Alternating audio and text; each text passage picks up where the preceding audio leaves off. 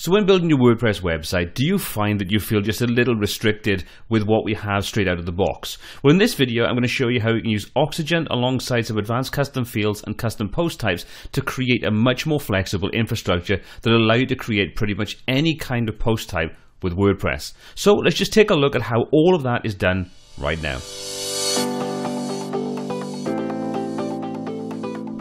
My name is Paul C, and welcome to WP Tuts, where I show you how to create beautiful WordPress websites. If this is your first time on the channel, please consider subscribing and clicking that bell icon to be notified of our weekly new content as soon as it's added to the channel. So to follow along with this tutorial, you're going to need to have three pieces of software or three plugins installed as part of WordPress. You're going to need to have advanced custom fields, which is completely free, alongside the custom post type UI plugin, which again is a free plugin. But you're also going to need to have Oxygen 2.0 installed. Now, Oxygen isn't free and they've kindly sponsored this video. And throughout this video, I'm going to be using Oxygen as the basis of building out the templates to display the content that we want to use inside our custom post types and using the the custom fields that we've got. So once you've got those downloaded and installed, you're ready to follow along what we're going to cover in this video. So first of all, what exactly are we going to create? Well, I've created this simple page layout. And it doesn't look anything particularly special. In all honesty, it's not that great a design. But what we do have is we have a reusable element at the top and the bottom, which is going to form part of our template. And all this information in the beginning is putting information in from a custom post type with custom fields inserted into it. So we've dropped in a video link, which will directly link to the video that's going to play from YouTube, the title for that particular video, and also a description or information. Now this is just a very basic example, but you can put as many custom fields as you want into your custom post type, and then you can use Oxygen 2.0 to output that relevant custom information into a design that you can then set up as a template through Oxygen. So using the techniques that we're going to cover in this video, you could very easily create an incredibly bespoke custom website that is way beyond what WordPress will ship out of the box with. So how do we do all this? Well, let's just log into the dashboard and start taking a look at how we set everything up. So first of all, let me just quickly explain that this video is more about Oxygen 2.0 and not so much about custom post types or advanced custom fields. I'm going to quickly go through those just to show you how I set things up and focus most of the time on actually putting that data into our custom template as part of Oxygen. So the first thing we're going to do is create our custom post type. So what we need to do is come out to the CPT UI entry on the navigation. I'm going to come in and say add edit post types. Once we do that, we get the option then to go through and set up the basic parameters. So the first thing we're going to do is give this a name. So we're going to call this video posts. As you can see, it automatically puts in the underscore for me just to make sure that everything is in line and works perfectly. We're then going to drop in the plural label, so we can say video posts and the singular video post. I could, if I wanted to, go down and add some extra information in, but the reality is for this example, I don't really need to. So all we're going to do is leave it at the basics there and say add post type. You'll see now we get video posts on the left hand side and we automatically get all video posts and add new. That's more than enough for this example. Next up, we're going to add a couple of custom fields in. So we're going to come into the custom fields section and just open up custom fields.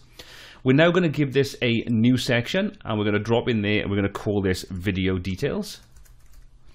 Once we've done that, we can then go through and specify what fields we want and we can also specify where these are going to be displayed.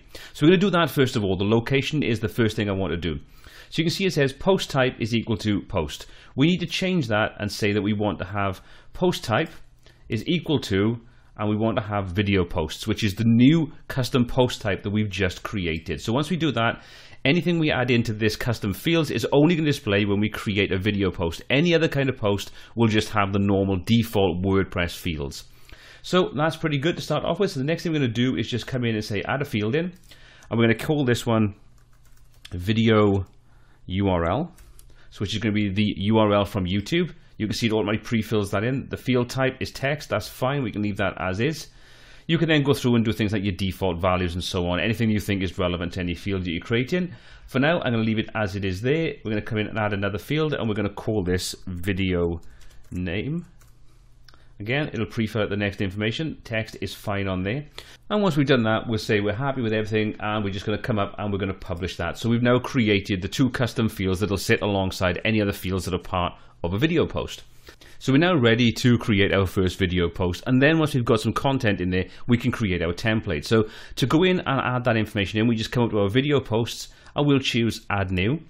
And that'll take us through into what looks like the default editor for WordPress, but you can see we now have our two custom fields, the video URL and the video name sitting below the post title and the actual details and the featured image. So we've got those fields in there. And just to show you, if we come into the post section and we say add new post, you can see those fields are not evident in there because it isn't one of those video posts. So we've only applied those custom fields to that specific post type, our custom post type for videos. So that's pretty cool. So we're going to come in here now and we're going to create some content. So we're going to call this one Charlie Sheen transformation. Uh, put our apostrophe in there. Okay, so there's the title for our post. The next thing we're going to do is just drop in a little bit of content in there. And we'll simply just drop in a little bit of filler text, nothing particularly important there.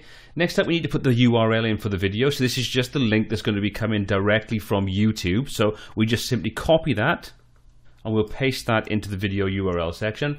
And finally, we've got the video name. So I'm just going to copy my video post name on there and we'll drop that in there. So that's fine. So we've set up everything we need. If we wanted to add a featured image, we could do that at this point. It's not particularly important for what I want to show you. So we'll click on publish. So there is our basic post. So if we just open that up and take a look, you'll see that at the moment, it doesn't really show anything. It's no styling on there. The video doesn't show up, so it's not really working.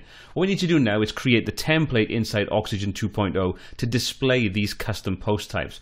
To do that, all we do is come over to Oxygen on the left-hand side and come into Templates. And inside there, we can now create our template. So at the moment, you see nothing is listed. So we'll click Add a new template. We'll give this a title of Video Posts, singular, just so we know what it relates to. And we'll click on publish. Once we've done that, that'll give us the ability to go in and choose the Oxygen editor and set up some basic parameters for what this template is going to apply to. So at the moment you can see it says singular, archive and other and also template priority. Because this is a single post, in other words it's only going to display one single post, not an archive of all the posts in this particular section, we choose singular as our option. You can see then we have a list of predefined filters. And at the bottom, you can see video posts, which is the kind of custom post type we created at the beginning of this video. So we'll check that. And what that basically says now is when we're looking at an individual post, a singular post that's in the video post category, use the template we're now going to create. So we'll click on update on there. That will then give us the ability to go in and open up the editor, edit with Oxygen section. So we can click and open that up and that'll open up the Oxygen editor and allow us to start creating our new custom post type layout. So first of all, because we told it what category we want to use and what kind of post type and so on, you can see it's already set up a previewing section. Now we only have one video post available, but if you had multiple ones, you can simply choose what post you want to use as the display for the actual filler content you're going to see when you create this template. So you've got something in there to work with. Okay, so if you're not familiar with the Oxygen 2.0 layout, I'd recommend checking out my introduction video, which I'll link in the description below and in the top corner now, so you can go and take a look on there and get a good understanding of what we're going to be doing in this section. I'm not going to concentrate on showing you every step, I'm just going to go through and show you how we could tie in that dynamic information. So first thing you want to do is click on Add. We're going to add a header and a footer in now. We're going to use one of the predefined templates in here. So we're going to come into the design sets. We'll choose Atomic. And once that loads in, we're going to choose the header and footer we want. So you can see we've got these sections and elements. So we'll come in and say we'll put in a header and we'll choose this particular one. Doesn't really matter. I just want to sort of have a header and footer in there. There's lots of ways you can set up these headers and footers, but I'm going to set up what I want for this particular template.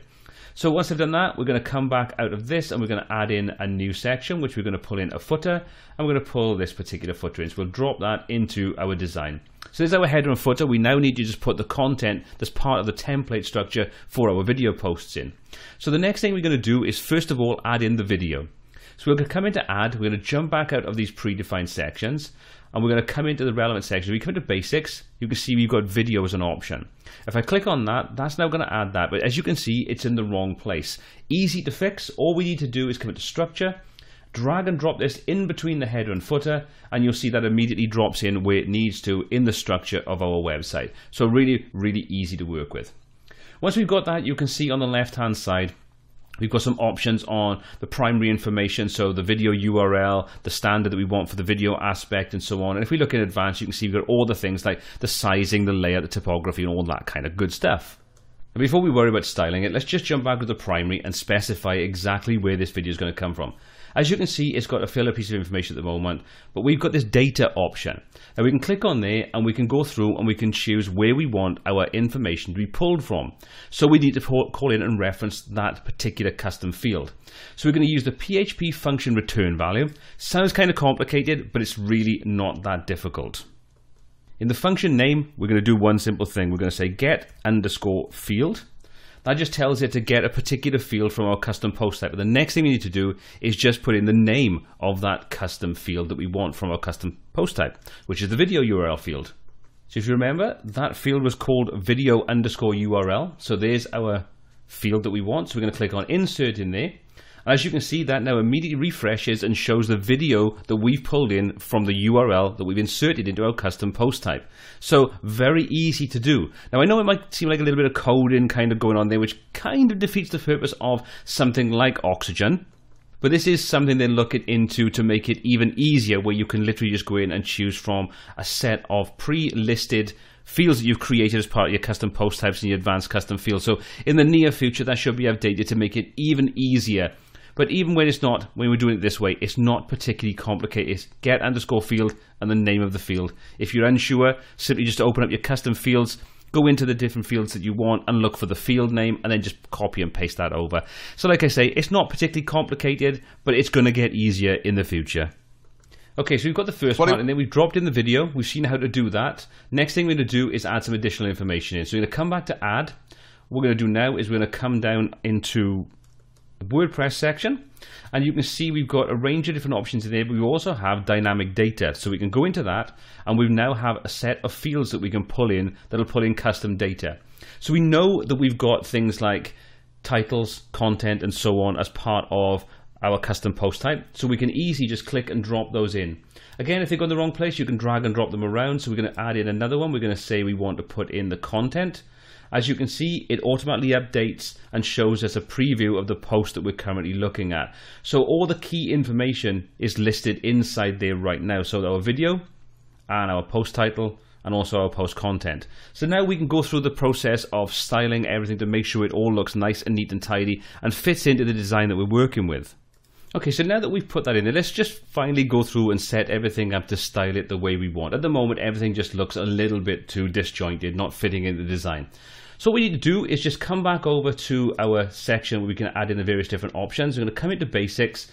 And before we do anything else, we're going to open up the structure on the top section. So we're going to open that up and you can see there's the structure. We're going to drag and add a section in. Now at the moment that gets dropped at the bottom, which we don't want it to do. We want to come back up below our header. And now we're just going to simply go in and add in our video, our heading, and our text into that so it sits nicely inside the flow of our page design. We can do that simply by indenting that in and you can see as I do that, it all indents, sits underneath the section, and we can now go through and style anything we wanted in, knowing that this is going to look exactly as we want. So let's just check it out before we make any changes. Let's just save that, come back over, and we'll refresh the page and take a look. So we're going to open this up, and there's our design. You can see our headers in place, our content's in place, all nice and neatly styled, and our footer section. So what we need to do now is just go in and finally tweak a few things on there, and we've pretty much wrapped up creating the template. So we can come in and we can simply select any of these items and we can quickly go in and style those any way we want. So if we want to adjust the font weight on there, change the font itself. So let's just say we want to put a specific font in there. So we'll choose Muli. And all we're going to do now is come into the advanced section, go to size and spacing, and we can just add a little bit of padding top and bottom. So let's just put 20 pixels at the top, 20 at the bottom, and that looks much better. Now obviously this is an incredibly simple example of how you can set up your website using ACF, custom post types and the power of the Oxygen templating system.